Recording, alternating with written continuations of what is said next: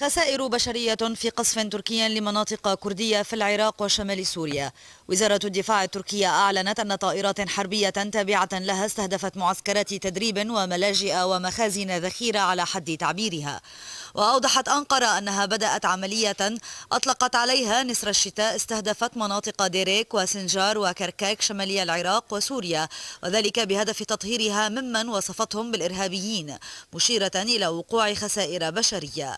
وأفادت وسائل إعلامية عراقية بسقوط قتلى ومصابين نتيجة القصف الجوي التركي لمواقع تابعة لحزب العمال الكردستاني في مخمور بمحافظة أربيل. وقال مصدر أمني عراقي إن تركية نفذت نحو عشرين غارة على مناطق شمال البلاد. من جهته أفاد المرصد السوري أن غارة بطائرة مسيرة تركية استهدفت موقعا للقوات الكردية السورية بالقرب من حقول رميلان النفطية في شمال شرق سوريا.